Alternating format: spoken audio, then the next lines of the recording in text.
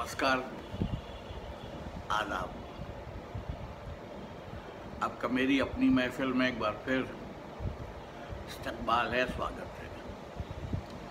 जी हाँ वही महफिल जिसमें मैं आजकल आपको सादत हसन मंटो के अफसाने सुना रहा हूँ। आज मैं आपको फिर एक अफसाना उनका सुना रहा हूँ, जो हल्का फुल्का मियाँ बीवी की नोक झोंक वाला अफसाना है। जो अफसाना। हर बार एक ही अंदाज में, यानी मुकालमवी मुकालमवी अंदाज में डायलॉग्स में लिखा गया है। आज जो मैं अफसाना सुना रहा हूँ, उसका अफसाना है, उसका उन्वान है। सिगरेट और फाउंटेन पेन आई मेरा पार्कर 51 का कलम कहाँ गया? जाने मेरी बला। मैंने सुबह देखा था, तुम मुझसे किसी को खत लिख रही थी। अब इनकार कर रही हो। मैंने खत लिखा था? हाँ मगर मुझे अब क्या मालूम कि वो कहाँ गलत हो गया? अरे, यहाँ आए, यहाँ तो आए दिन कोई ना कोई चीज़ गलत होती रहती है। मेंटल पीस पर आज से दस रोज़ हुए मैंने अपनी घड़ी रखी। सिर्फ़ इसलिए कि मेरी कलाई पर चंद फुंसियाँ निकल आई थी। दूसरे दिन देखा वो गायब थी। क्या मैंने चुरा ली? अरे मैंने ये कब कहा? सवाल तो ये है कि वो गई कहाँ? तुम अच्छी तरह जानती हो कि मैंने ये घड़ी वहीं रखी थी। उसके साथ ही दस रुपये आठ आने थे। ये तो वहीं रहे। लेकिन घड़ी जिसकी कीमत दो सौ पचहत्तर रुपये थी, वो गायब हो गई। तुम पर मैंने चोरी का इल्ज़ाम कब लगाया? एक घड़ी आपकी पहले भी गुम हो गई थी। हाँ मैं तो समझती हूँ कि आपने खुद उन्हें बेच खाया होगा। बेगम, तुम ऐसी बेहूदा बातें ना किया करो। मुझे वो दोनों घड़ियाँ बहुत अज़ीज़ थी। इसके अलावा उनको बेचने का सवाल ही कहाँ पैदा होता है? तुम जानती हो कि मेरी आमदनी अल्लाह के फजल से काफ़ी है। बैंक में इस वक्त मेरे दस हज़ार से कुछ ऊपर रुपए जमा है। घड़ियाँ बेचने की ज़रूरत मुझे कैसे पेश आ सकती थी? अरे, किसी दोस्त को दे दी होगी। क्यों? क्या मुझे उनकी ज़रूरत नहीं थी? मैं तो घड़ी के बगैर रह ही नहीं सकता। अब ऐसा महसूस होता है कि मैं ऐसा छकड़ा हूँ, जिसमें कोई पहिया नहीं। वक्त का कुछ पता नहीं चलता। घर में क्लॉक है, मगर वो तुम्हारी तरह नाजुक मिजाज ज़रा मौसम बदले तो जनाब बंद हो जाते हैं। फिर जब मौसम उसके मिजाज के मुवाफिक हो तो चलना फिर शुरू कर देते हैं। यानी मैं क्लॉक हूँ। अरे मैंने सिर्फ़ तशबी के तौर पर कहा था, क्लॉक तो बहुत काम की चीज़ है। और मैं किसी काम की चीज़ नहीं। शर्म नहीं आती आपको ऐसी बातें करते? अरे मैंने तो सिर्फ़ मज़ाक के तौर पर यह कह दिया था, तुम खाम खा नाराज़ हो गई हो।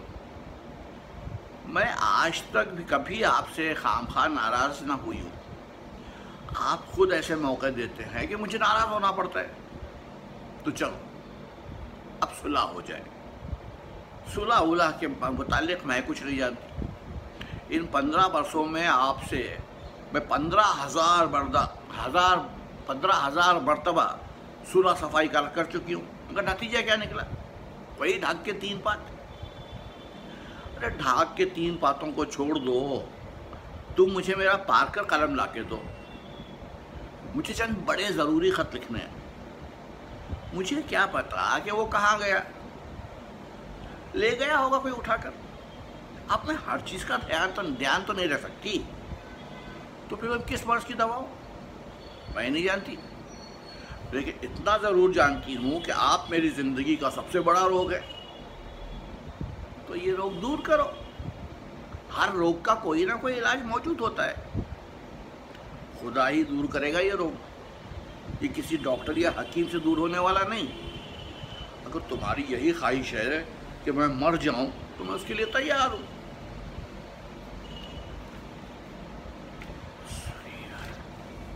मेरे पास इत्तेफाक से कातिल जहर मौजूद है। मैं तुम्हारे सामने खाकर मर जाता हूँ।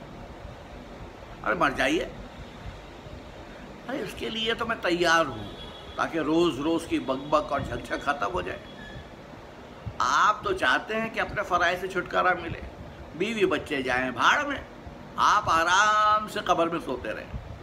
लेकिन मैं आपसे कह देती हूँ कि वहाँ का अजाब, यहाँ के अजाब से हज़ार गुना ज़्यादा होगा। हुआ करे। मैंने जो फैसला किया उस पर कायम हूँ। आप कभी अपने फैसले पर कायम नहीं रहते। ये सब झूठ है। मैं जब कोई फैसला करता हूँ तो उस पर कायम रहता हूँ। अभी पिछले दिनों मैंने ये फैसला किया था कि मैं सिगरेट नहीं पीऊँगा। चुनानची अब तक उस पर कायम हूँ। अरे, पाखाने में सिगरेट के टुकड़े कहाँ से आते हैं? मुझे क्या मालूम? तुम पीती होगी। मैं? मुझे तो उस चीज़ से सख्त नफरत है। होगी। मगर सवाल पैदा होता है कि आखिर पाखाना भी कोई ऐसी माकूल जगह है जहाँ सिगरेट पिया जाए? चोरी छुपे जो पीना हुआ, पाखाने के अलावा और मौजू और मुनासिब जगह क्या हो सकती है? आप मेरे साथ फ्रॉड नहीं कर सकते। मैं आपकी रग रग पहचानती हूँ। ये तुमने मुझसे आज ही कहा कि मैं पाखाने में छुप छुप कर सिगरेट पीता हूँ। मैंने इसलिए इसका ज़िक्र आपसे नहीं किया था कि आप चूँकि तंबाकू के आदि हो चुके हैं, इसलिए सिगरेट नोशी आप तर्क नहीं कर सकते। लेकिन ये बहरहाल बेहतर है कि आप दो एक सिगरेट दिन में पी लेते हैं, जहाँ आप पचास के करीब फूका करते थे। मैंने ढाई बरस में एक भी सिगरेट नहीं पिया। भंगी पीता होगा। भंगी? गोल फ्लैग और क्रेन ए नहीं पी सकता। हैरत है। किस बात की? हैरत तो मुझे भी है कि आप साफ़ इनकार कर रहे हैं। मुझे बना रहे हैं। नहीं, मैं सोच रहा हूँ कि ये सिगरेट वहाँ कौन पीता है? आपके सिवा और कौन पी सकता है? मुझे तो उसके धुएँ से खांसी की शिकायत हो जाती है। मुझे तो उससे सख्त नफरत है। मालूम नहीं आप लोग किस तरह इस वाहियात चीज़ का धुआँ अपने अंदर खींचते हैं। खैर, इसको छोड़ो। मेरा पार्कर कल मुझे दो। मेरे पास नहीं है। तुम्हारे पास नहीं है तो क्या मेरे पास है? आज सुबह तो खुदा मालूम किसे खत लिख रही थी। तुम्हारी उंगलियों में मेरा यही कलम था। हाँ लेकिन मुझे क्या मालूम कहाँ गया? मैंने आपकी मेज़ पर रख दिया होगा। और आपने उठाकर किसी दोस्त को दे दिया होगा। आप हमेशा ही ऐसा करते हैं। देखो बेगम, खुदा की कसम खाकर कहता हूँ, ये कलम मैंने किसी दोस्त को नहीं दिया। हो सकता है तुमने अपनी किसी सहेली को दे दिया हो। अरे मैं क्यों इतनी कीमती चीज़ सहेली को देने लगी? वो तो आप है कि हज़ारों अपने दोस्तों में लुटाते रहते हैं। अब सवाल ये है कि वो कलम है कहाँ? मुझे चंद ज़रूरी खत खत लिखने जाओ जाओ मेरी जान, ज़रा थोड़ी सी तकलीफ़ करो। मुमकिन है ढूँढने से मिल जाए। नहीं मिलेगा। आप फजूल मुझे तकलीफ़ देना चाहते हैं तो ऐसा करो। दवात और पेन होल्डर ले आओ। दवात तो सुबह आपकी बच्ची ने तोड़ दी। पेन होल्डर आपके भांजे के बेटे ने। इतने पेन होल्डर थे, कहाँ गए? मुझे क्या मालूम? आप ही इस्तेमाल करते हैं। मैंने तो आज तक पेन होल्डर कभी इस्तेमाल नहीं किया। कभी कभी तुम किया करती हो। जबकि मेरा फाउंटेन पेन दस्तियाब ना हो। आपकी बच्चियाँ आफत की पुतलियाँ हैं। वही तोड़ फोड़ के बाहर फेंकते, फेंक देती होंगी। अरे तुम ध्यान क्यों नहीं रखती? किस किस चीज़ का ध्यान रखूँ? मुझे घर के काम काज से फुर्सत नहीं मिलती। इसीलिए तो मेरी दो घड़ियाँ गायब है कि तुम्हें घर के काम काज से फुर्सत नहीं मिलती। मैंने तो जब देखा, तुम पलंग पर लेटी हो। खुदा मालूम, तुम घर का काम काज वहीं लेटी लेटी करती हो। घर का सारा काम तो आप करते हैं। मैं इसका दावा नहीं करता। बहरहाल, जो कुछ मैं कर सकता हूँ, करता रहता हूँ। क्या करते हैं आप? हफ़्ते में एक दो दफ़ा मार्केट जाता हूँ। मुर्ग और मछली खरीद कर लाता हूँ। अंडे भी। कोयले की परमिट हासिल करता हूँ। घी का बंदोबस्त करता हूँ। अब मैं और क्या कर सकता हूँ? मसरूफ आदमी हूँ। दफ्तर जाना होता है।